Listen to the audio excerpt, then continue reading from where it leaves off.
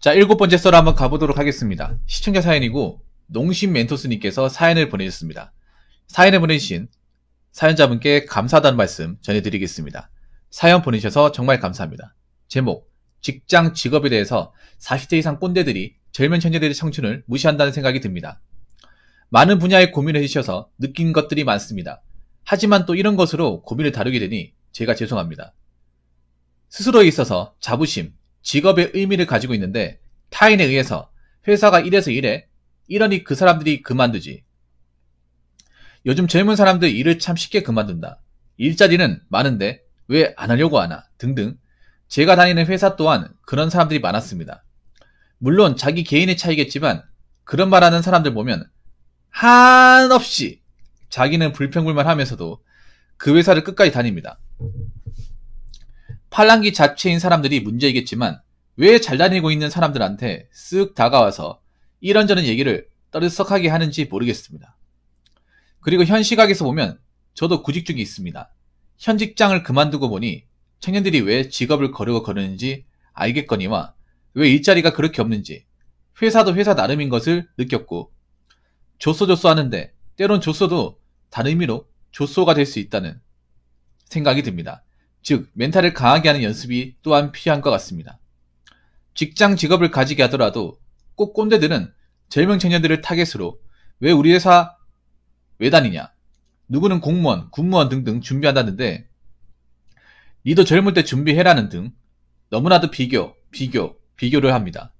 내 인생 책임질 것도 아닌데 왜 그런지 당해도 받고 주위의 동생들을 봐오면 그런 40대 이상 꼰대들은 왜 그런지 스트레스를 받았지만 이제는 그럴 이유조차 찾지도 않고 무시해야겠다는 결론이 나왔습니다. 너무 눈치를 보고 살아온 남과 비교하는 것을 어릴 때부터 배워서인지 이런 부분을 바꿔가야겠다 생각이 듭니다. 그리고 젊은 청년부들이 잘못이 아니라는 것을 명확하게 말씀드리고 싶습니다. 화이팅 합시다. 저도 화이팅 하겠습니다. 영화인가 드라마인가 그 대사가 생각이 나네요. 왜? 취직 못하고 놀고 있는 게 네 탓이야? 너는 좋은 스펙에 좋은 대학까지 나와서 놀고 있는데 그게 왜 네 탓이라고 돌리고 울고 그래? 세상 씨발 족같들이 만들어 족같이 만들어 놓은 나라 정부 대통령 탓이지. 씨발 이래서 어른 새끼들이 안 돼요. 나는 그 대사가 생각나네요. 라고 적어졌습니다. 한편은 이해가 되면서도 한편으로는 좀 모르겠어요. 음, 이게 고민 사연이라기보다는 뭔가, 어, 세상 어떤 그런 기성세대들에 대한 어떤 불만, 뭐 그런 것들을 얘기한 것 같습니다. 40대 이상의 꼰대가 많은 걸 인정합니다. 저도 꼰대입니다. 그런데, 꼰대들이 나쁜 행동한다는 것도 제가 인정해요. 근데 꼰대라고 해서 다 나쁜 행동하는 것도 아니에요. 사실 이렇게 생각하면 돼. 너무 약간 피해의식을 가지고 보는 것도 안 좋아요. 약간 피해의식이 섞여 있다는 느낌을 지울 수가 없습니다. 멘토스님. 40대 이상 중에 다 꼰대가 많은 건 사실입니다. 근데 뭐 일 잘하는 사람도 있고요. 그리고 할 말을 해야 되기 때문에 꼰대 역할을 자처하는 경우도 있어요. 그러니까 그 꼰대가 얘기하는 게 정말 좋은 얘기인지 좋은 얘기가 아닌지를 생각을 해봐야 돼. 꼰대도 좋은 얘기 해주는 사람이 있어요. 근데 요즘에 젊은 친구들은 그냥 40대 가는 얘기는 전부 다 꼰대고 자기들이 듣기 싫으면 다 듣기 싫은 얘기고 별로 별로만 얘기가 아니다 이렇게 생각을 합니다. 근데 우리가 팩트로 알아야 되는 거는 우리가 적어도 얘기한 40대 꼰대는 그래도 사회에 어느 정도 중추신경을 하고 있다는 것은 부인할 수 없는 팩트입니다. 저도 40대 이상이라 치면 남자라고 치면 회사 근속이 한 15년 됩니다. 회사에서 단맛, 쓴맛은 다 경험해 본 사람이에요. 한 회사를 다녔다고 치면 15년. 그러면 중간중간 옮겼다 하더라도 10년은 좋게 다녔어요. 다녔습니다. 그렇기 때문에 어떤 사회 어떤 경험치나 어떤 회사의 어떤 그런 처세술이나 노하우는 일반 젊은 사람들이 함부로 무시할 건 아닙니다. 네. 그런데 그런 거 있어요. 뭐냐면 꼰대들이 좀 그런 거 있어요. 뭐냐면 자기가 살아온 가정을 좀 젊은 사람들한테 인정받으려고 하는 게 있어요. 그게 좀 추해 보이거든.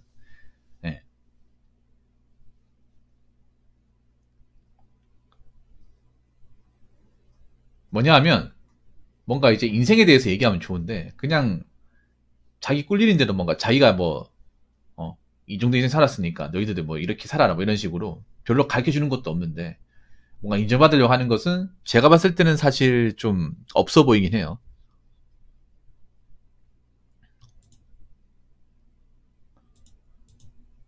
근데 내가 보니까 멘토스님도 대기업은 다니신 건 아니네요. 죄송하지만. 왜냐하면 이게 대기업이 다니는 분들이 얘기할 건 아닌 것 같아. 어, 중소를 다니신 것 같습니다. 왜냐하면 저도 중소기업 다닐 때 회사 불만 많은 분들 많, 많았거든요. 회사 불만 있는 분들. 맨날 있잖아요. 그, 저도 중소기업 다녔을 때 알거든요. 그 회사에 이제 현장 일하시는 분들 항상 물, 사장한테 불만 많으면 맨날 욕, 욕합니다. 사장이나 안 부르, 새끼라 부릅니다.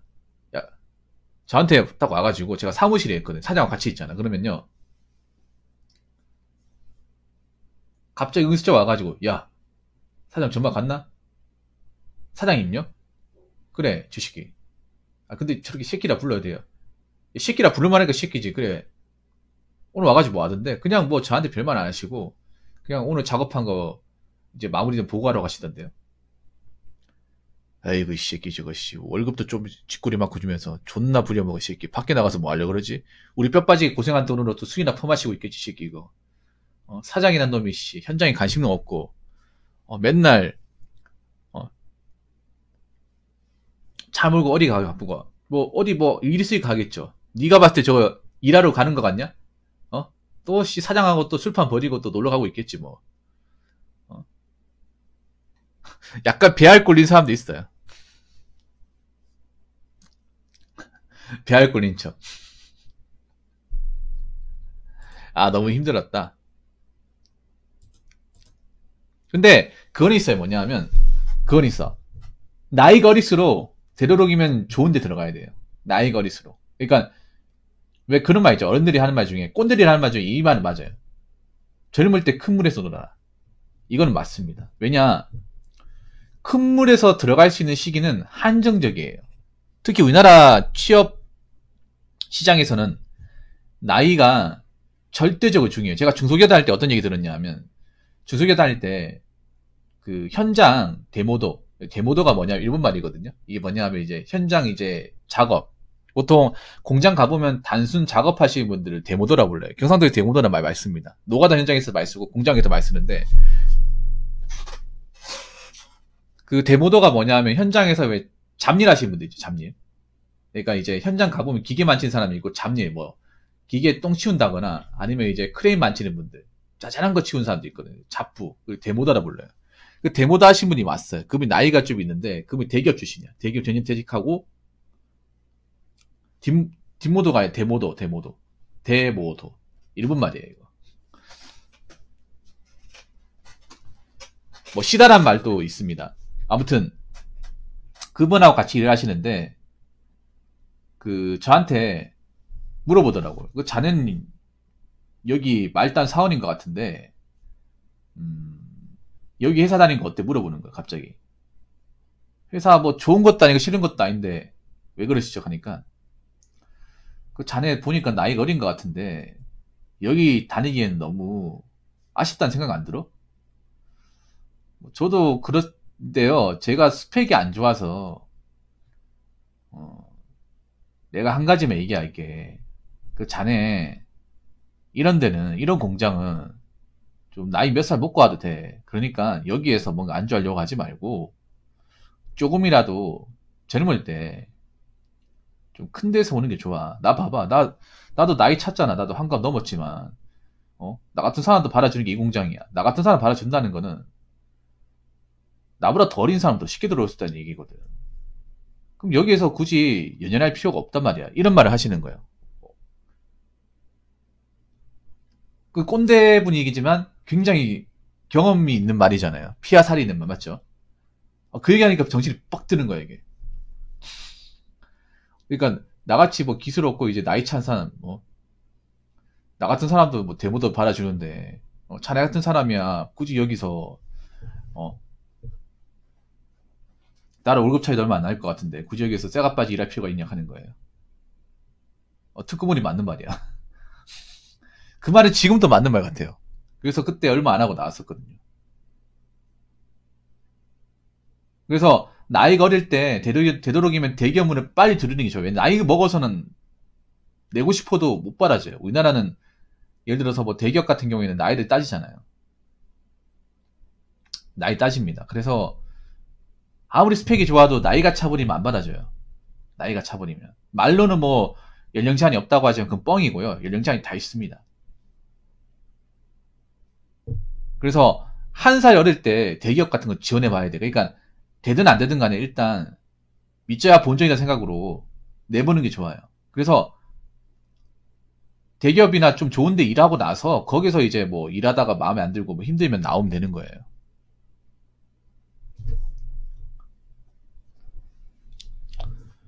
그래서 저는 나이 어린 친구가 조수 일하는 거 원하지 않습니다. 제가 만약에 사수였으면 돌려보냈을 겁니다. 어떤 식이든.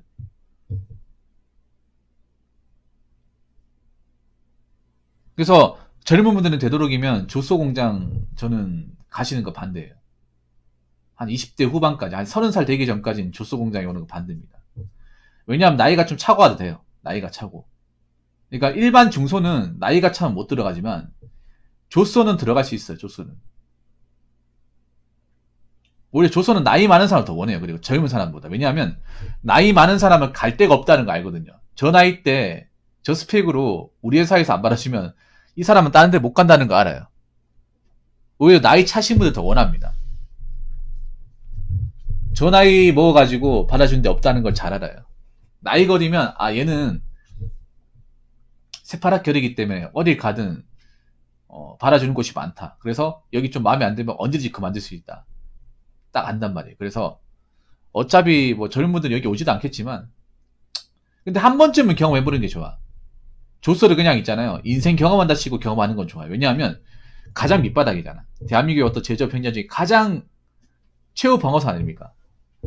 가장 아래 단계잖아. 그러면 동기부여가 생겨. 내가 왜 스펙을 올려야 되고, 내가 왜 좋은 공장에서 일해야 되는지를 알게 돼요. 그것만큼 메타인지하기 좋은 곳은 없어. 조소만큼. 왜 인원수가 많고 설비가 좋고 복지가 좋은 회사에서 일해야 되는지를 대반히 느껴요. 왜냐, 조소가 돈만 적은 게 아니에요. 복지나 환경도 열악합니다. 조소가. 단순히 돈만 적다고 뭐, 못 달릴 만한 이게 아니에요. 조소는 일단, 뭐, 비품도 없어요. 그 냉장고도 없고요. 전자레인지도 없어요. 제가 일했던 조소들이 얘기하시, 얘기하면 샤워실도 없습니다. 그리고 여름 되면 엄청 꿉꿉해요. 여름 되면 그 공장 안에 온도가 40도 넘거든요. 밖에 온도가 33도 되잖아요. 공장 온도가 40도 넘어요. 기계 열 때문에 더운 게안 빠져나. 그러면 여러분 공업용 선풍기 있잖아요. 큰 거로 틀면 더 더워요. 더 더워. 땀이 더 나. 날씨가 엄청 더워버리면. 그래서 정말 찐득찐득합니다. 예. 네. 퇴근하면 엄청 꿉꿉해요, 이거. 이건 겪어본 사람만 압니다. 조소 현장 가보면, 그, 샤워실이 없어요, 샤워실. 보통 중소, 중소 정도 큰 회사 가면 샤워실이 다 있거든요. 있고 없고 차이 큽니다. 특히 현장에서 일해보신 분들 아실 거예요. 조소에서 땀 안 나고 일을 할 수 없습니다. 땀이 없는 사람도 땀이 비오듯이 옵니다. 그냥, 수시로 이제 땀 닦아요, 진짜. 머리 그냥 다 엉클어지고, 떡집니다. 조소 가보면 여러분들 남자도 공부하시니까 파마 하신 분들 많거든요, 남자분들. 현장 작업자 아저씨들 보면 다 파마 했어요. 여자들도 파마 했어. 파마한 아줌마, 파마한 아가씨도 많고, 파마한 남자도 많아요. 왜 그런지 아십니까? 생머리 하잖아. 떡져요. 네, 땀나가 떡집니다. 그 가름하고 나발이가 없어요. 굉장히 추해집니다. 약간은. 추노 있죠, 추노. 추노 장혁 머리처럼 돼버려요. 진짜로. 여자도, 여자도 있잖아요. 현장 모르고 만약에 머리 생으로 오잖아. 그 머리 다 떡져가 피부에 다, 다 달라붙어, 이게. 굉장히 지저분하잖아, 그러면. 없어 보이죠? 화장 다 지워지고. 그래서, 남자들, 여자들 파마합니다. 파마하면, 이게 어느 정도 이제 머리 덩어리 져가지고 안 엉클어지거든. 파마 하신 분들 많아요. 엄청 많아요. 파마 하신 분들 많아요, 팜. 여자분들도 파마 하신 분들 많습니다. 그게 다 이유가 있어요, 그게. 쌩 하신 분도 없어요. 가르마 타면, 그 왜, 여자분들 왜, 돌려 말아가지고 가르마 타면요. 머리 다, 다 달라붙어, 이마에. 달라붙어서 약간 좀, 뭐라 해야 되지? 좀 없어 보여, 이게. 여름 되면 없어 보여. 머리카락 다 갈려가지고, 눈에 찔려가지고 막. 그래서 공장 오실 때 파마하신 분들 많습니다, 이게. 예. 그리고, 어, 샤워실도 어째 화장실, 화장실도 불편한 게, 조소 가보면 남녀 화장실 구분이 없어요. 여자분들 화장실이 굉장히 애매합니다. 조소 가보면. 남자 여자 구분의 화장실이었고요. 화장실도 제가 그때 화장실 썼을 경우에는 화장실이 어 남의 화장실 남의 화장실 남의 공장 옆, 옆동의 화장실을 썼어요. 그리고 어 화장실이 푸세식도 있습니다. 푸세식 좀 시설이 더 안 좋은 데는 그 쪼그리 앉는 데도 있어요. 쪼그리 앉는 데. 더 심한 경우에는 바닥이 뚫려 있는 데도 있습니다. 그 뭔지 아시죠? 냄새 올라오는데. 그런 데도 있어요. 아직까지. 아직까지도 있어요, 여러분. 그리고 그 자변기, 밖에서 자변기 서 서서 노는 데도 있어요. 그 소변 보면 다 보여. 엉덩이가 다 보여. 그런 데도 있어요. 네, 조소 중에. 다 그런 건 아니지만. 심한 데는요. 그리고 작업 환경이 굉장히 더러워요. 작업 환경이. 바닥에 뭐 철가루, 뭐 분진 같은 거, 쇳가루 같은 거 많이 날리고. 네. 그리고 컴퓨터도 굉장히 꾸지고. 이게 단순히 돈 때문이 아니야. 조서 가보면 컴퓨터도 막, 제 예전에 조서 일할 때 있잖아요. 컴퓨터 새 거 살 돈 없어가지고 은행에서 있잖아요. 은행에서 이제 버린 거 있죠. 그거 재활용해 쓰더라고. 내가 딱 놀랬던 게 컴퓨터 본체 뒤편에 농협이라 펼쳐 있어, 농협. 농협에 무슨 지점이 적혀 있어요. 나 물어봤어요. 이거 어디서 샀냐고 하니까 이거 뭐 그 농협 은행에서 이제 남은 거 가져왔다고 하는 거예요. 농협 딱 적혀 있더라고. 그 은행 지점에 썼던 거. 그 은행용 컴퓨터를 가져와 쓰는 거, 헐값에 가져와가지고. 그 돈 아끼겠다는 거야. 그래서 짱났던 게 이 컴퓨터가 상태가 안 좋고 가져왔죠. 그래서 창을 3개 열면 강제로 닫혀. 옛날 컴퓨터 상태 안 좋고 그런 거 있잖아요. 어? 창 3개 열잖아요. 강제로 닫혀. 와, 졸라 빡쳐요. 내가 사건을 몇 번 쳤는지 몰라. 와, 키도 안 먹혀. 키도 있잖아요. 요즘에 키보드 좋잖아. 키도 안 먹혀, 이게. 어, CS 안 먹혀요. 보통 캐드 쓰면 CS 많이 쓰잖아. CS, F 많이 쓰죠. 커버 안 먹혀요, C. C가 얼마나 중요한데. 안 먹힌다니까, 이거. C 안 먹혀가지고, 세게 눌러야 되고. 그래서 내가 돈 주고, 키보드 사가지고 돈 달라고 한 적도 있어. 키보드 바꾸자고. 이런 것도 안 하는 거야, 이런 것도. 마우스도 안 좋고.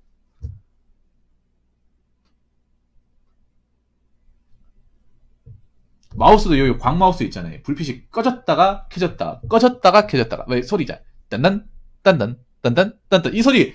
와, 나 진짜. 내가 집에서 하나 가져오고 싶더라고, 진짜. 아, 아니, 멀쩡히 쓰고 있는데 갑자기 마우스다가 뭐 작업해. 딴단, 딴단, 딴단, 딴단. 이 소리. 아시죠? 이게 접촉 불량. 하, 뭐 상태 멀쩡한 게 없어, 이게. 아, 아니, 뭐, 뭐 많은 걸 바라는 게 아니잖아요. 기본적으로 사무실 사용할 수 있는 기본 비품이라도 멀쩡해야 되는데 그런 것도 멀쩡하지 않아. 바꾸겠다 하면 아 뭐라 하는지 아세요? 야 네가 그만큼 일을 열심히 하냐? 네가 하는 게 뭐가 있다 그래? 뭐 이런 식으로 반문해 버려요. 진짜 뭐 그런 적 있습니다. 옛날 생각 떠오르네. 얘기하니까. 그래서 웬만하면 어, 되도록이면 좋은 데서 일하는 게 좋아요. 시행착오 걸리더라도. 조선은 좀, 내가 대기업 중견기업 못 가겠다 싶으면, 돈이 급하다 싶으면 다녀야 돼. 돈이 급하다. 그게 아니면 웬만하면 큰 물에서 노는 게 좋습니다. 큰 물에서. 근데 요즘에 워낙에 대기업 들어가기 힘들다 보니까, 어, 멤버스님 같은 경우에는 이제 대기업 PM 가야지, PM. 보통 이제 생산 관리는 PM이라 부릅니다. 네, 프로젝트 매니저. PM 자리가 잘 안 나죠. 생간에 갔으면 뭐 QA 가셔도 되겠네. QA나 QC 가셔도 되겠네요. 뭐 생강이나 품보나 뭐 비슷하니까. 근데 보통 그런 경우 많아요. 생간이 보통 이제 다이렉트로 요즘에 대기업을 못 들보니까 중소에서 경력을 쌓아가지고 경력직으로 이제 신입으로 들어가는 케이스가 많아요.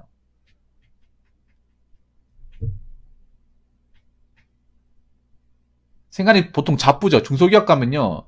중소기업 생간으로 가면요. 보통 생간이 사무실이거든요. 사무기술직의 기본 기본적인 직업 이제 파트 중에 하나가 생간이에요. 생간 품보. 근데 그 중소기업 생간 품보는요. 현장직까지 같이 경험합니다. 현장에서 특크레 옮기고 기계도 만지고 심지어는 현장 작업도 도와주고요. 왜냐면 인원 수가 부족하기 때문에 어, 생간을 하는 건 별로 없어요.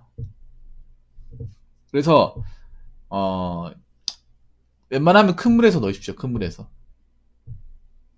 아무튼 우리 젊은 세대들의 푸념 잘 들었습니다. 자 이상으로 일곱 번째 썰 마치도록 하겠습니다.